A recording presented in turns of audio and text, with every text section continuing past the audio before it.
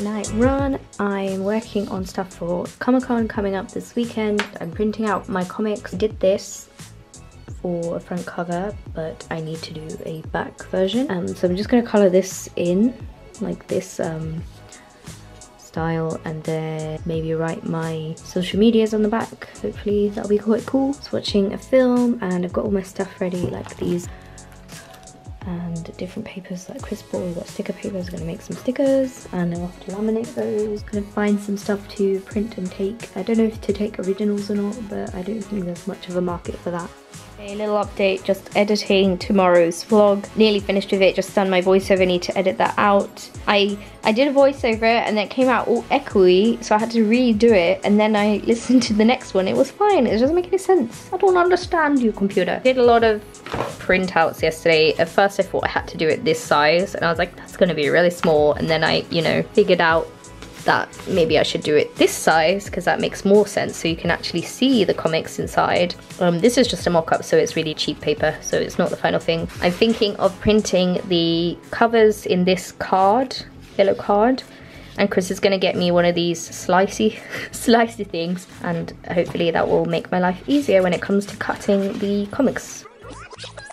Okay, just to butt in here, stuff from the future, but I got this, Chris got me this tiny one and it was pretty useless. Like it helped a little bit because it was easier than scissors but man it was hard. So don't don't buy this. Smart cut a100 i don't know. I i want a big guillotine thing that costs like a lot of money. There's no point in me buying that. And also it's quite hard to find stuff like this just in a small town. Back to the vlog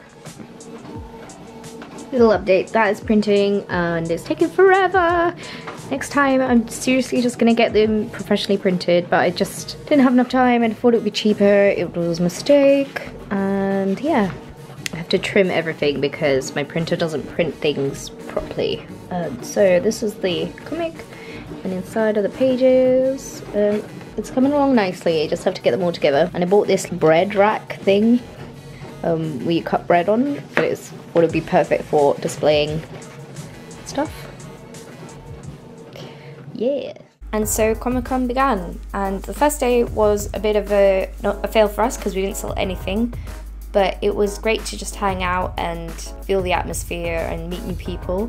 It's a really nice location too. It was by this old pool that basically they turned everything into this massive complex for Comic Con and put up loads of tents, and there were lots of different artists different guests, lots of things going on, lots of talks. So it was really exciting. Even though we kind of broke even money wise, it was worth it. And we still have lots of stock to possibly sell on an online shop. It's good to get out of your comfort zone and do things like this. I also did on the spot commissions of mermaids for people, um, digital and traditional. And that was terrifying. I've never done that before. So that was a real growth for me to do that and feel comfortable about doing it. So that was really, really fun. And I'm really glad that I did that. There was also beer, so that's always a plus. At the con, they had medieval weaponry people and they held a little tournament, and our friend competed in it, and it was really fun to watch. So, I will roll the footage and I apologise for mine and Chris's commentary throughout because we were very excited and very full of beer. Oh shit, I was charging! I said, I said, grab yeah, boy! Oh my god, oh my god, oh my god! Wait, wait. that combo, what's this, Game of Thrones? Oh my god, he's scary. The fencing is on point. Oh, the, it's on the ground! Definitely blow, you know? Karim, If this was Game of Thrones, we'd all be dead if Karim was not on our side. Karim is like the guy who teaches Arya how to fight. Oh, there's no beating our boy. Take a chance. It is, we do bull rush. Oh, oh! Oh, woo! Karim won! I'm so hyped about this. Come on, you can do it, Karim.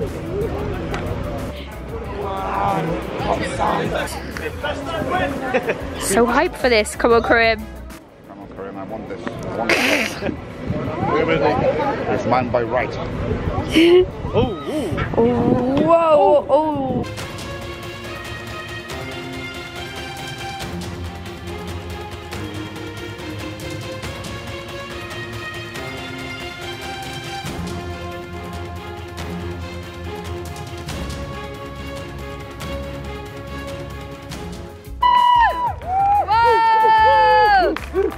He's the champion. And I've never felt more like a nerd. my whole life. My friend won, that's awesome. Look, look, look. I want him in a medieval battle with me. look at him bowing. Thank you. Thank, Thank you, you, Queen. Thank you, Queen.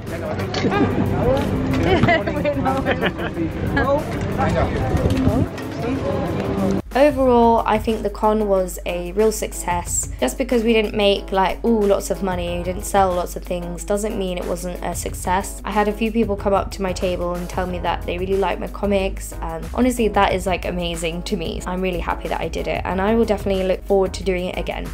Thanks for watching guys, please like and subscribe for more content and I will see you next time.